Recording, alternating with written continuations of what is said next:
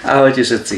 Dnes mi prišiel nôž na brúsenie od firmy Sandrik, ale ako sa hovorí, čo človek pokazí, to aj opraví. Ja som to nepokazil, ale tentokrát ho musím opraviť. Sleduj tu na. Tá jeho flexka mala možno šikovnú rýchlosť, ako takto ostrie aj čepel úplne to poškodilo, ale tento nož, jak masakrálne vyzerá potom, ako prešiel, ako keby s gravírovačkou prešiel cez ten nož. Neviem, čo s tým chcel povedať. Čo s tým chcel básnik alebo ten vlastník povedať, že tento nož takto zničí.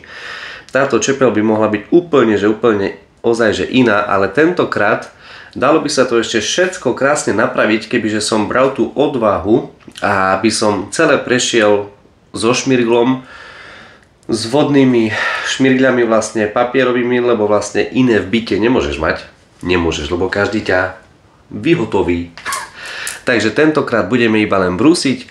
Sleduj teraz zábery, ktoré budú pod mikroskopom, že ako tá čepel tu na to ostrie, aké nahriaté je a aké bolo už fialové a ako sa už z neho začalo štiepiť až. Uvidíme, čo spravíme. Sleduj teraz pod mikroskopom a ideme brúsiť.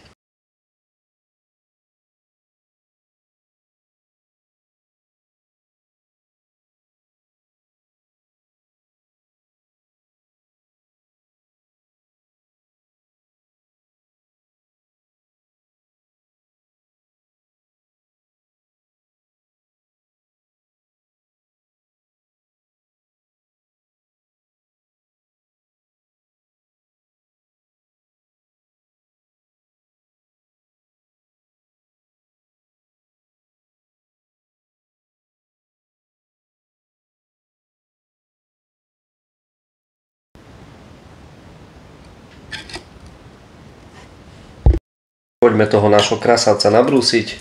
Máme tu na uhol 18.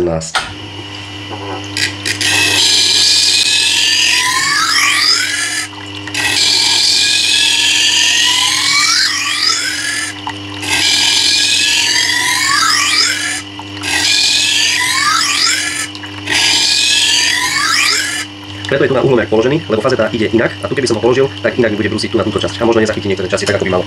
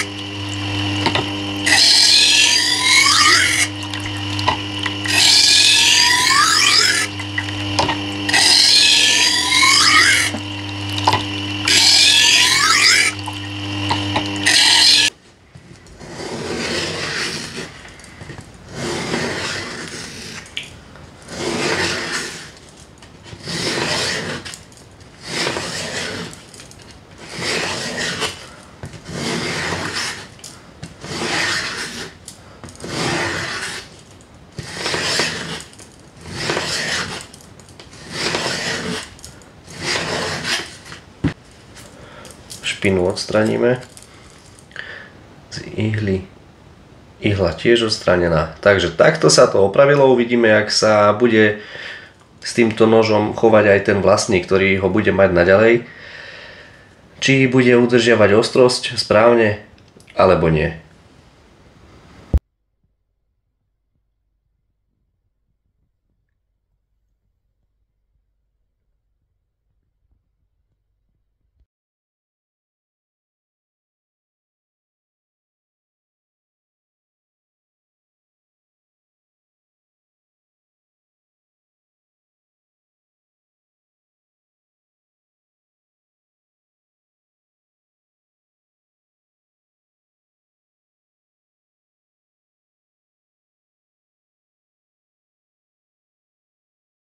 Ideme na koniec, na záver, skúška ostrosti.